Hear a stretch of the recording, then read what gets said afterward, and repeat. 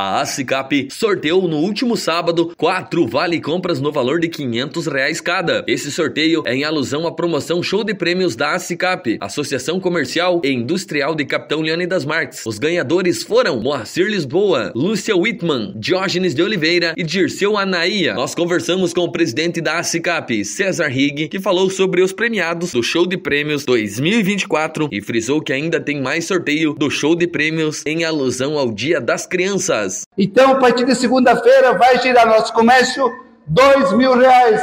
Forte abraço a todos e continue pedindo os cupons, clientes, continue comprando nas lojas identificadas com os cartazes, que agora vai começar já Dia das Crianças.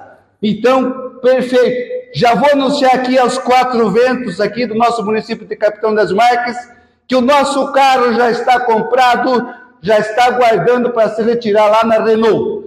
Então, a partir de setembro, nós vamos estar desfilando com esse carro maravilhoso. Quero agradecer de antemão todos os parceiros, todos os patrocinadores, todas as empresas, os clientes. Continue pedindo cupom, municípios vizinhos.